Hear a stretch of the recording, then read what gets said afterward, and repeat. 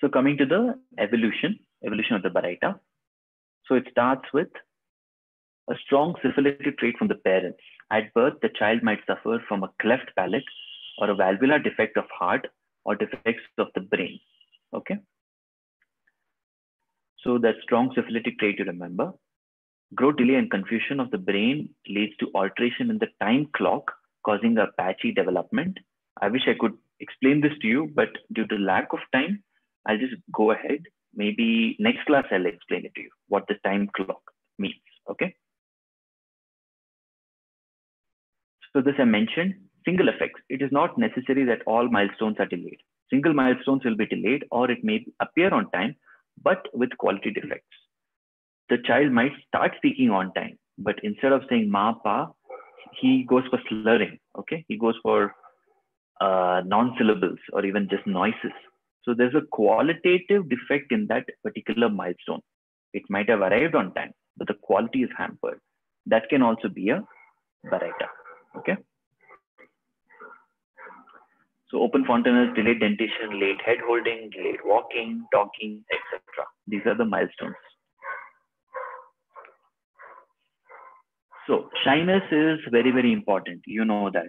If a person is not developed well, or if he feels that he's not developed well, he will definitely have insecurity, he will have low self-esteem and shyness.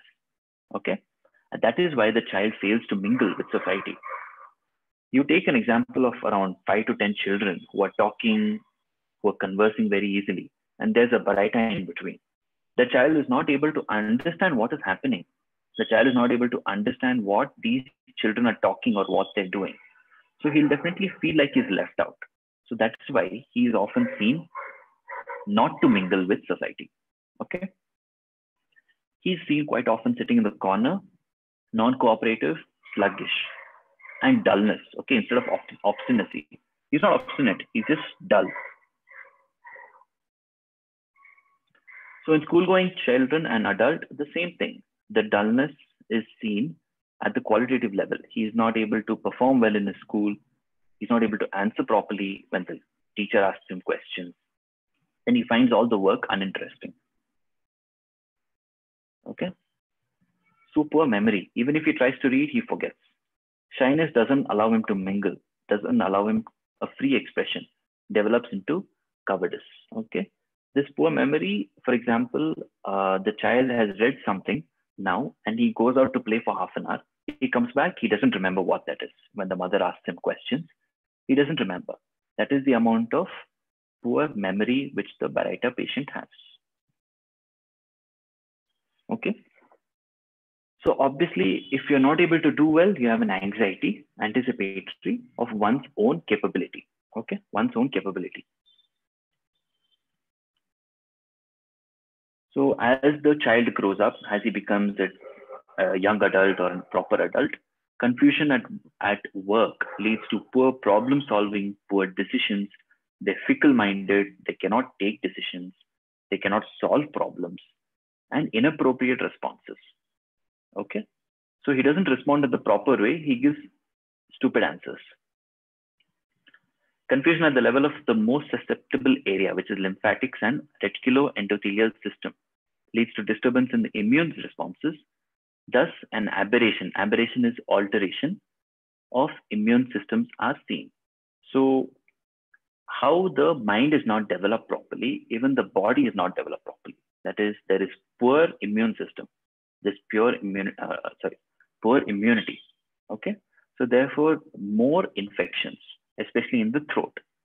So try to understand poor immunity especially throat area, infected more often. Okay, so remember that. So at the nervous system, there is disturbance at the mental level, spasms at the muscular level, leading to migraines, epilepsy, uh, cerebral diplegia, agenesis, microcephaly, and mongolism. This is not very important. Okay. So I told you it is sycosyphilitic, right? Psychotic tendency has atheroma formation and arteriosclerosis. Okay. And at the kidney, ureter, and bladder, KUB is kidney, ureter, and bladder, it shows renal calculi. Okay.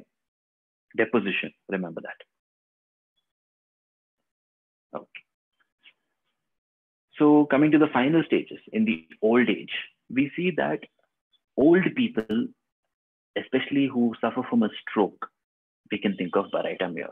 Okay, especially when the BP is high, the systole is high now, that time we can think of Baryta mur.